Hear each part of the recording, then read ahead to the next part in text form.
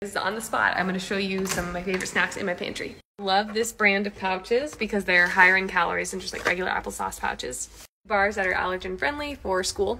Me some veggie straws, but I usually try to pair it with hummus to make it more filling. With these, uh, they're like chickpea puffs and Pirate's Booty. I really like this one because it does have a little bit of protein and fat, which makes it more filling too. Love these lentil onion ring chip, chip blah, blah, blah, chips from Trader Joe's. Fried apples. These ones from Trader Joe's are so good because they're soft. They're not like super tough. I also ordered some of those like beef jerky sticks, the little mini ones from Amazon. So those are coming in the mail. And then in my fridge, mostly dairy stuff. So I have a whole box of cheese sticks. I'm a big yogurt fan. I do sometimes make my own yogurt pouches, but I also like these yogurt tubes. We also do lots of fruits and veggies and snacks in our household. So easy fruits for us are like pears, apples, and oranges. Easy veggies for us are bell peppers and little little cucumbers. Oops. So I have homemade fruit popsicles. Cereal with whole milk is like a go-to snack in our house.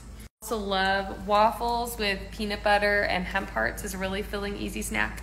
Do the same thing with pancakes or mini pancakes are extra fun.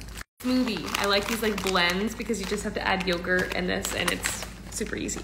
You can't go wrong with just like regular applesauce pouches. We always have those. Sometimes I make them too.